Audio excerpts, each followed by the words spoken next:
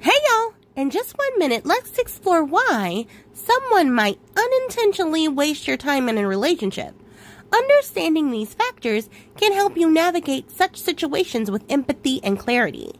Sometimes people waste time in relationships due to a lack of clarity about their own feelings or intentions.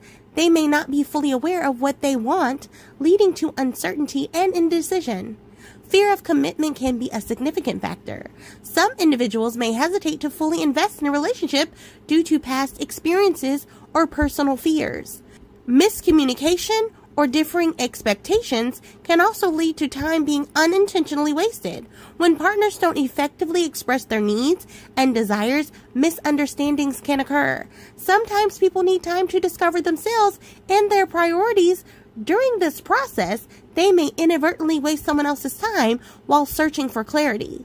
Life circumstances can change unexpectedly, leading to shifts in priorities or personal goals. These changes can impact the direction of a relationship, sometimes without warning. There are various reasons why someone might unintentionally waste your time in a relationship, including lack of clarity, fear of commitment, miscommunication, self-discovery, and changing circumstances. While it can be frustrating, approaching these situations with empathy and open communication can help navigate them more effectively. I hope this information empowers you to make informed choices in your relationships. You've got this. Please like, share, comment, and subscribe. Bye!